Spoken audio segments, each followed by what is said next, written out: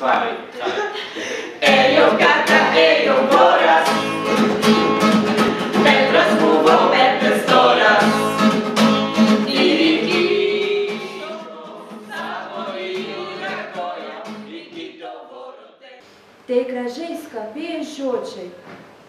Laukas, pieva, kelias, upė. Tai gražiai iš jų išaugo. Vienas žodis - Lietuva.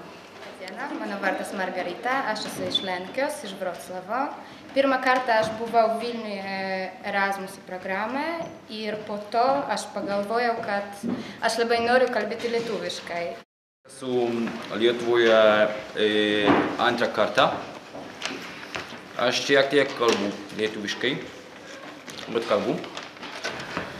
Aš um, kalbu gruziniškai, rusiškai, angliškai, šiek tiek vokiškai uh, ir suprantu uh, ispaniškai ir dabar lietuviškai. Koks aš gražus ir laimingas. Skamba, skamba.